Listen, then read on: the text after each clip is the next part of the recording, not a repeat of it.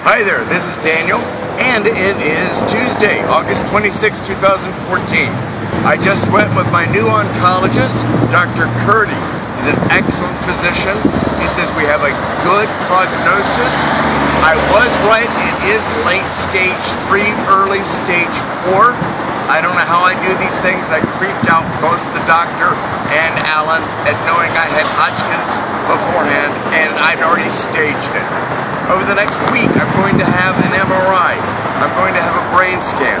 I'm going to have a PET scan. I'm going to have bone marrow taken, and they just took a bunch of blood. It's called staging. What they're going to do is they're going to determine what I've already told them is in fact true. Then in the next week, we're going to start the chemotherapy. I'll have all the rest of the information once I get home. We're going to be making another blog, another video for the blog once I get home. I just wanted to touch base with everyone I have a good prognosis. I have an excellent oncologist. Thanks for hanging in there. Remember, Danny's Cancer Treatment Fund at Indiegogo.